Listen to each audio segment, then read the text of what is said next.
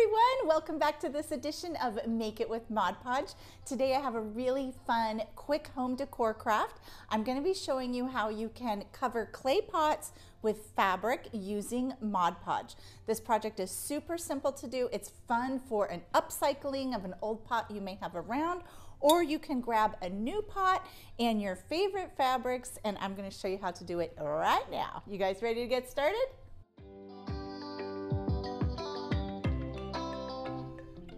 So for this project, we're gonna be using cotton fabrics. You can use any kind of print that you want. You can use heavy decorator weight or you can use thinner cotton weight fabrics, uh, quilting weight uh, fabrics.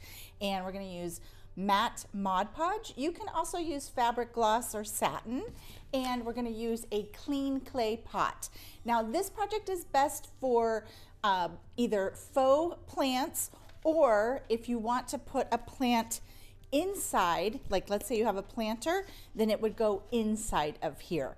To make them a little bit more durable, if you wanted to on the outside, you could use your outdoor Mod Podge formula or your dishwasher safe formula. But for this, I'm using faux plants, so I'm just gonna be using Mod Podge in matte. So to get started, you want to take your clay pot and a scrap piece of paper and just make a very rough pattern of the pot. And you'll do that by wrapping paper around it and just marking it off and trimming it just to create that shape. And don't worry about your overhang. We're gonna just cut that out. So once you have your pattern of your shape of your pot, you'll be ready to cut out your fabric. And I'm using this really cute, isn't that great fabric, sort of peach fabric. It's a little bit heavier weight.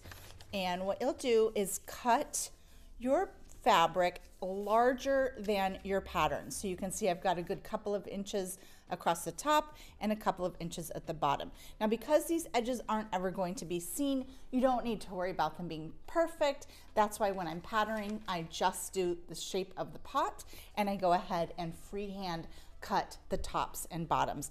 And I also have a little bit of extra on the sides just so that it can overlap in the back. And let me show you what that looks like. So you see we've got just an overlap seam back there. So you're always gonna have a backside to this. But most of the prints I find they just blend together. So we're going to apply our matte Mod Podge directly to the pot. And the easiest way to do this is just to hold the pot in your arm. And we're gonna go ahead and start applying. It's really simple. This is a great beginner craft. This is a really fun way just to add a pop of seasonal color into your home decor.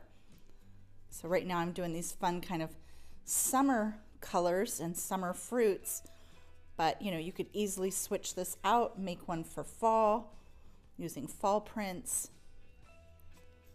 There's so many great fabrics out there. And there's lots of fun licensed fabrics too. If you love Star Wars, you go get some Star Wars fabrics, make yourself a Star Wars pot. Okay, let's add a little bit more across the top. I'm making sure that I'm getting that under lip there. Don't worry about the bottom yet. We're gonna do that in step two.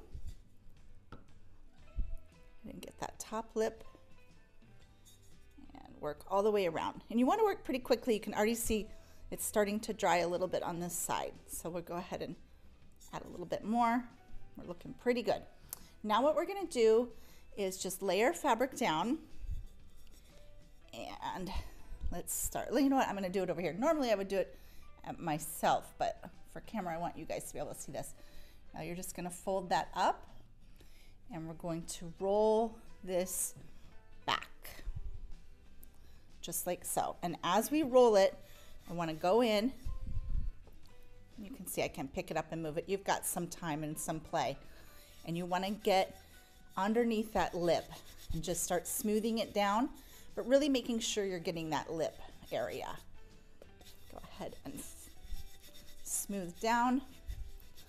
And when you get to the end, you're gonna cut away any of your excess. So I'm at the end here, and it looks like I have freehanded a little bit too much extra flap.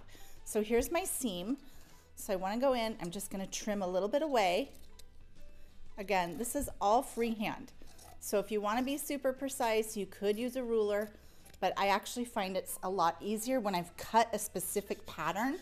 Sometimes I don't lay it down exactly right, so you wanna have a little bit more. It's more forgiving to have a little bit more than, than to be just on the edge. Now we're gonna go in and add some of our Mod Podge right there and just flap that over. And the Mod Podge is gonna dry clear. So we got that, that's our back section there. That's gonna be our back seam. But you can see it just, it really just disappears. Okay, so it looks pretty good. We don't have any wrinkles. If you did have a wrinkle, you would just keep working it out like that. You can pick up and move your fabric a little bit. You do have a little bit of time and play. So once that's done, we're going to turn it upside down and I'm gonna trim a tiny bit off of here. Not too much. We're gonna be gluing these flaps down. So I wanna trim just a little bit away. And again, it's better to have too much and trim away than it is to be too precise because if you don't land it perfect, then you end up a little bit short. Okay, so now we're just gonna go in we're gonna add our Mod Podge. I hope you guys can see that good. Add our Mod Podge to the inside, just like so. And now we'll start to fold in and really working on that edge because you don't want to have too many creases there. So you just want to kind of go slowly and work that around. Then at the end here, let's add a little bit more under there, just like so. Now we'll add a little tiny bit, just kind of in there, just to kind of glue those down. And then usually when I'm finished, completely finished, I like to cut a felt circle and just glue it to the bottom just to seal it up. Now, if you're doing these for like craft fairs or something like that, you definitely want to put a finished bottom on it. That's a good place if you have a logo or something. You could glue a little cardboard that has your logo on there just to finish it off. And now for the top edge, we're gonna do a similar thing, but we're just going to loop our fabric right to the inside. So let's do that next. So for this, I wanna go around, grab that top edge, just like so.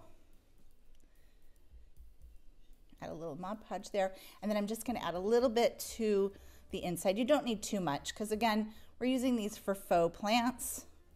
If you wanted to use a real plant, make sure you use one that has a liner inside of it. That way you're watering in the liner. Now we're gonna just start to fold over. And the same way with the bottom, you just wanna make sure you're kind of working around. You don't wanna get too many creases. So just kind of let the fabric do its work. It usually has a little bit of give. So if you just keep moving it around, like see I've got kind of a wrinkle there. So I just pick it up, kind of move it around keep going. And get this edge down. Let's go ahead and add a little bit. You can add a little bit to right there and just inside. Go ahead and glue that flap down. Oh, I got Mod Podge flying, guys. And then we'll just press all those down. Now, sometimes I've gone in and um, taken a second swipe at it if you've got some longer pieces you can just add a little Mod Podge to it just to glue it down. Got one more wrinkle to get out there. There we go. So that is how quickly you can cover a pot. Let's take a look at some of the ones that we did. You want to see the inside there? We got our inside flap. We got our bottom. Everything's got to dry. So it's going to dry pretty, um, pretty quickly. I'd say in about a couple of hours, it will be dry and ready to go. Now, if you want to give it a top coat, you can, but I like to do the top coating once it's completely dry. If you want to top coat it, all you're going to do, and, and for top coating, it's a personal preference. I'm not gonna be washing this, this is seasonal decor. Let me just go ahead and show you. For top coating, you'll go right over your project. I like to go underneath the lip first, so I get that area, and then you'll just go straight down onto your project. If you're using gloss, you're gonna get a little bit more shine out of it. If you're using matte, like this here, this will dry perfectly matte and clear. So it looks a little cloudy and foggy right now, but it's gonna dry clear. Um, now again, if you wanted to have something that was more outdoorsy or durable, you would wanna top coat it with the outdoor formula. So let's take a look at some of our cute designs. We've got this great pink checkered peach, so fun. And I love this one. It's got a little bit of a lattice work. And then of course we've got our all, all over peach design. So for this, I chose three fabrics that coordinated together so they'll look really cute spread across my living room. But you do you, find your favorite fabrics and create some fun pots for your house. Thanks so much for joining me today, guys. I'll be back next week with another fun video and another fun Mod Podge technique. Make sure you use those hashtags Mod Podge and Plaid Crafts so that everybody at Plaid can see what you're making. Have a great day.